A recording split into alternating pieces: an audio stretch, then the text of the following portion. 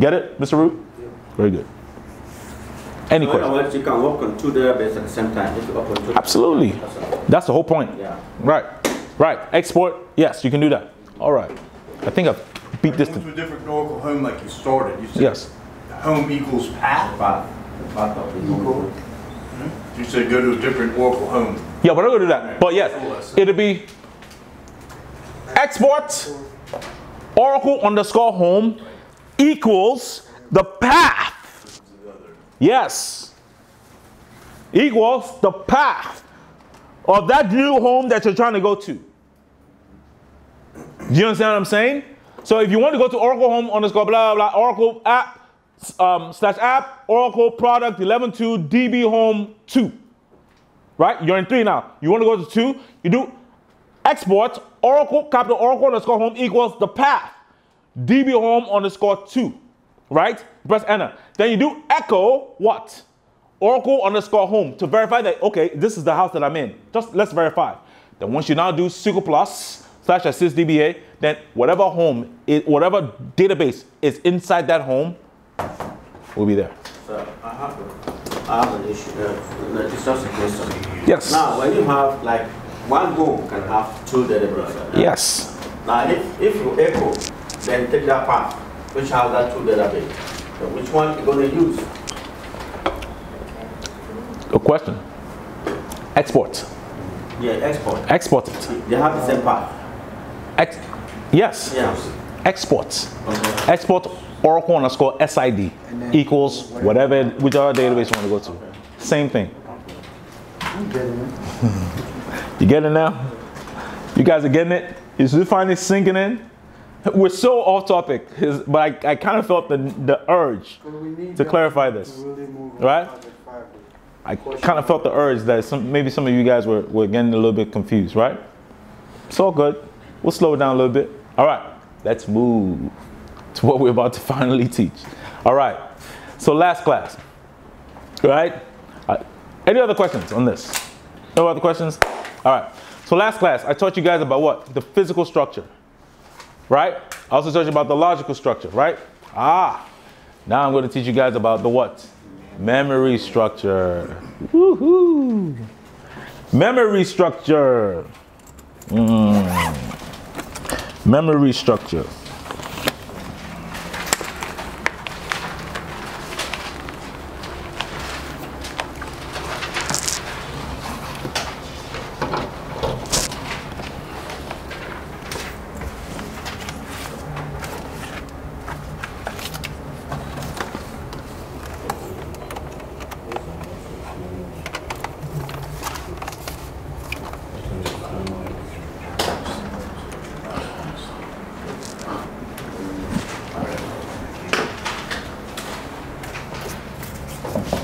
All right.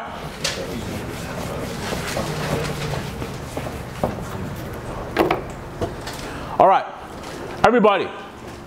One thing that you're gonna, you're gonna need to understand is this, right? Listen to me. One thing you're gonna need to understand is this. The memory structure is divided into two parts. The memory structure is divided into two, into two parts. SGA and PGA. SGA and PGA. Do you understand what I'm saying? I don't know if you guys remember, but when you're creating a database, there's a part where it says typical or custom. I don't know if you guys remember, right? They could ask you this on the interview. In relation to size, what is the percentage that the PGA is to the SGA, right? It is always one third, a third, right? But first of all, what exactly is this SGA? When we say SGA, what exactly are we talking about? System global area. When we're talking about the SGA, we're talking about memory now. We're talking about memory. Do you understand what I'm saying? Memory, memory, memory. Memory, memory, memory. Right? We're talking about memory. Why is memory so important? Did I speak about memory at all last class? I, didn't speak about memory at all. All right, very good. Let's say we have two little kids. You say one is smarter than the other. What exactly are we saying? Mr. Roots. Repeat that again. If we say that we have two kids, one kid is smarter than the other, what exactly are we saying? One can retain more information. Very good. One can retain more information. Absolutely. Couldn't have said it any better. Not only one can retain more information, one can regurgitate more information faster. Right? When you go buy a laptop, what's the first thing that you're going to want to know? How much memory do you have? Not necessarily the disk space.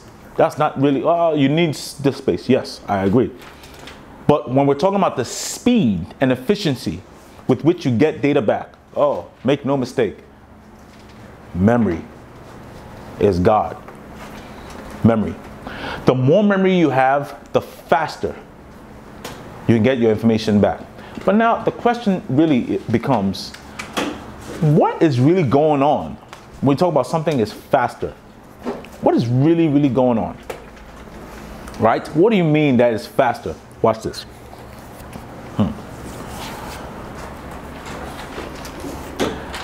Nine times, nine times, ten times out of ten, right? Ten times out of ten. Oracle, listen, Oracle is very, very lazy, right? Oracle is all about efficiency.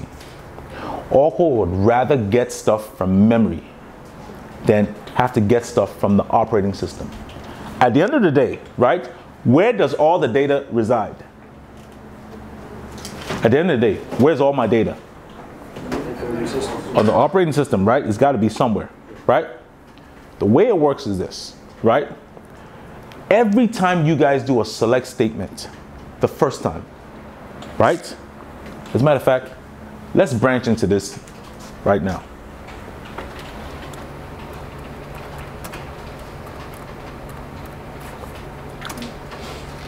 I think it's very important that you guys actually understand this.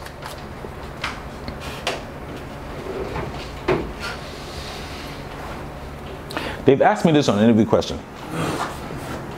They said, Can you tell me what exactly happens when you do a select statement? Oh my goodness. If you write this down, you're gonna be so good. Note taking time. Number one. When you do a select statement from a table, we're talking about everybody. Everything we're talking about right now is SGA. We're not. We're not talking about S, um, um, PGA yet. Everything we're talking about right now is SGA, and SGA stands for what? System Global Area, right? This is the big memory. The PGA, the Oracle gives you, let's say Oracle gives you 100, right? The SGA will account for 66% of the memory. PGA is one third of it, right? So the SGA is the most important right? SGA is talking, we're talking about memory now. So watch this. Every time you do a brand new select, not just a select, a brand new select, these are the phases that Oracle goes through, right, in, relation to memory before it actually gets you your data. Number one, it checks for syntax errors.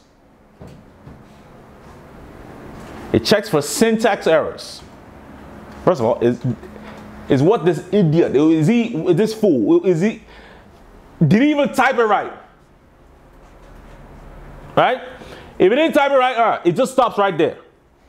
Number one, checks for syntax errors. Number two,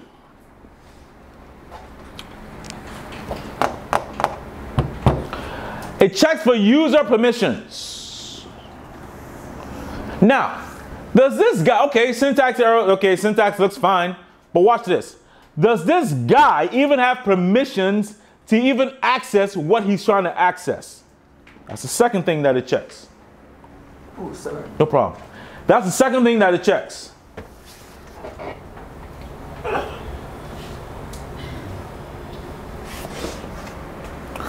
Both of these, number one and number two, is what we call the parsing phase. Parsing phase. Parsing. Parsing. To parse. P A R S I N G. To parse. Parsing phase.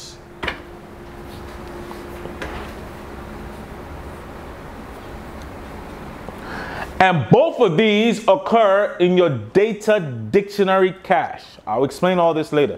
Your data dictionary cache.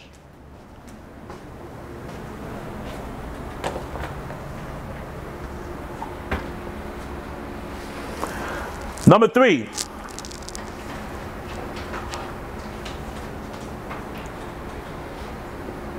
The SQL statement is turned or converted into a numeric hash value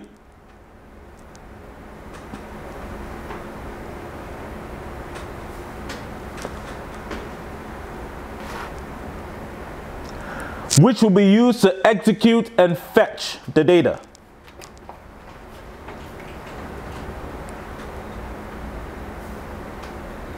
Say echo and fetch. No, which we use to execute and fetch the data. We're talking about every time you do a select star or select whatever, the first time, a brand new select statement. Brand new select statement. Right? This is this takes place in the library cache. The library cache.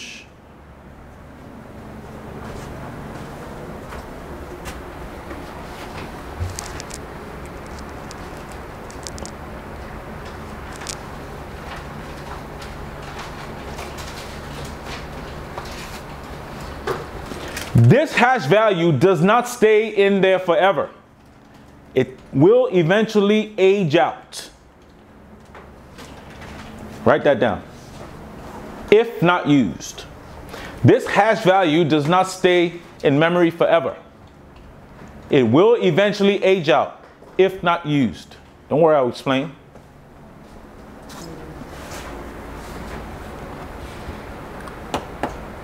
Number four. The SQL statement then executes. This is called the execution phase. This number four. The SQL statement then is executed. This is called the execution phase.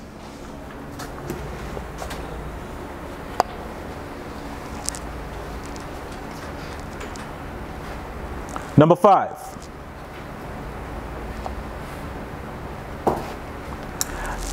The data is retrieved from the table. Well, the data is retrieved from the table. Retrieved from the table.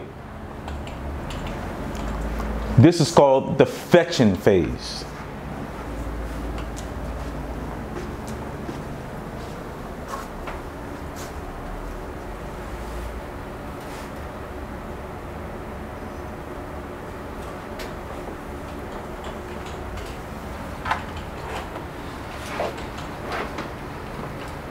And then to sum up, to write this down. So if a select statement is invoked by a user, this is to sum up everything. Write this down. If a select statement is invoked by a user, right?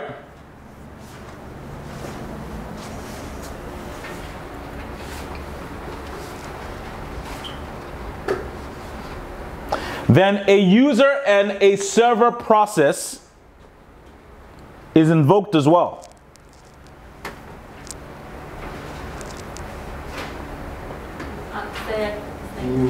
If a, when a select statement is performed, then a user and a server process are invoked.